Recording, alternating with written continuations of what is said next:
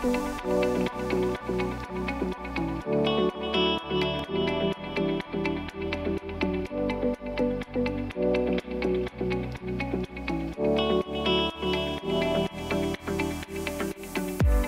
Leto 2021 nam je prineslo veliko sprememb in novih izzivov. Trenutno Porsche Interauto skupno šteje 377 zaposlenih na petih lokacijah po Sloveniji. Preteklo leto nas je soočilo z novim izzivom doboljivosti vozil. V zadnjem letu se je število električnih vozil na slovenskih cestah močno povečalo. Pri Porsche Interauto se trudimo, da so naše novosti dostopne in razumljive vsem strankam. Osebni pristop in dobro svetovanje je garancija zadovoljstva. V servisih želimo vsaj ohraniti svojo močno pozicijo kakovosti. Bomo povečali naše kapacitete in vlagali v nova orodja za e-mobilnost. V tem letu želimo narediti korak naprej. Vsekakor želimo dosegati trajnostno rast na vseh področjih. Porsche Interauto želi v prihodnosti biti referenčna točka za električno mobilnost. Letos želimo posledice izrednih razmer lanskega leta nadoknaditi z rekordnim rezultatom.